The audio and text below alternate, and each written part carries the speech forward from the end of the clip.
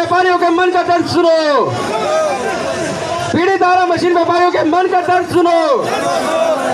मन का दर्द सुनो। योगी जी, न्याय करो। मोदी जी, न्याय करो। पीड़ित धारा मशीन व्यापारियों को लाइसेंस दो। मोदी जी, न्याय करो वन विभाग हाय हाय वन विभाग हाय हाय वन विभाग हाय हाय मोदी जी न्याय करो मोदी जी न्याय करो और ज़ोर से मोदी जी न्याय करो। मोदी जी न्याय करो। मोदी जी न्याय करो। वन विभाग मुर्दाबाद। वन विभाग मुर्दाबाद। वन विभाग मुर्दाबाद।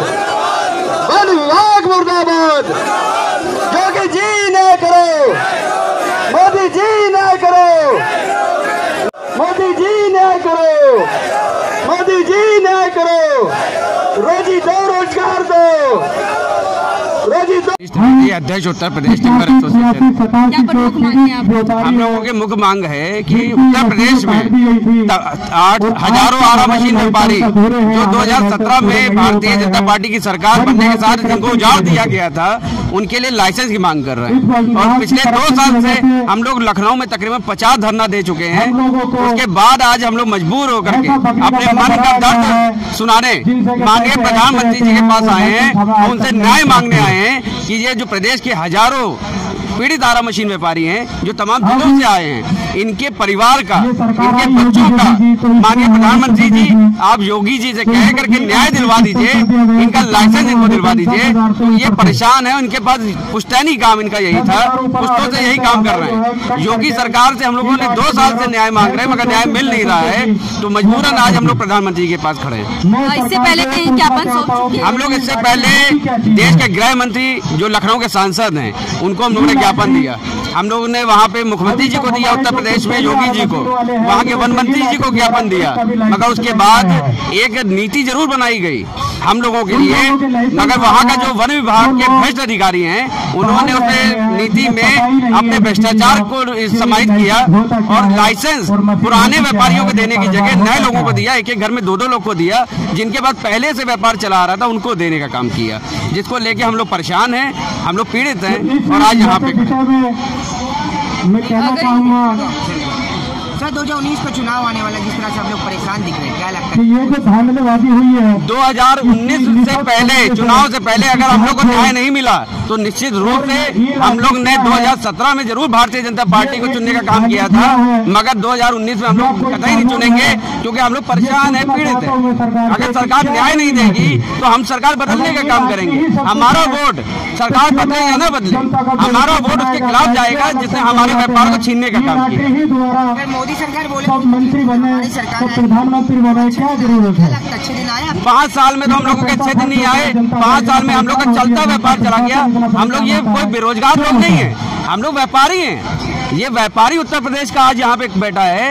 ये चलता व्यापार इसका बंद हुआ। है। और हम व्यापारी आज बेरोजगार हो गए।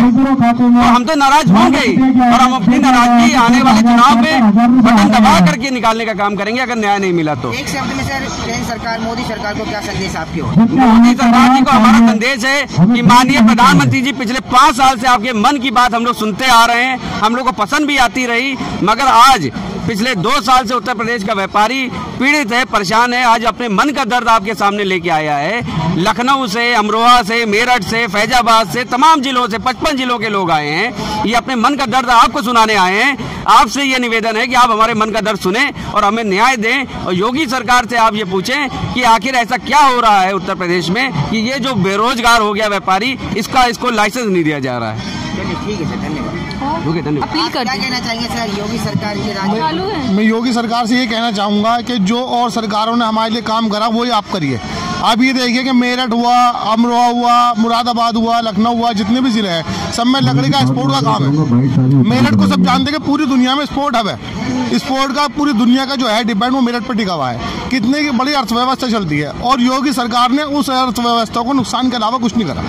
वो नुकसान पहुँचा रही है बीजेपी सरकार को और कुछ दो हज़ार सत्रह से जब से सरकार बनी है हम परेशान है हमारे सारे व्यापार बंद है हमारे साथ इतने लोग जुड़े हुए हैं कारोबार से जब वो बेकार होंगे तो क्या होगा? बेरोजगारी बढ़ेगी चोरी डकैती होंगी यही होगा ना हो ये हो रहा है। अभी मेरठ में हमारे यहाँ तो पंद्रह करोड़ रुपए की डकैती एक जिसने सवा सत्तर इलेक्शन लड़ा उसने डाली बैंक के अंदर। मन्नूपुरा गोल्ड लोन में सब जगह है। इसके इसके अलावा बेरोजगारी के अलावा कुछ नहीं है। हम तो ये चाहते हैं कि मेरठ के व्यापारियों के लिए सब व्यापारियों के लिए सब जगह के लिए सबको सोचा जाए। हज़ार उन्नीस में किसको वोट देंगे? दो हज़ार उन्नीस में जो हमारा ख्याल करेगा हम उसको वोट देंगे। जो भी साथी अपनी बात रखना चाहता है वो आ जाए।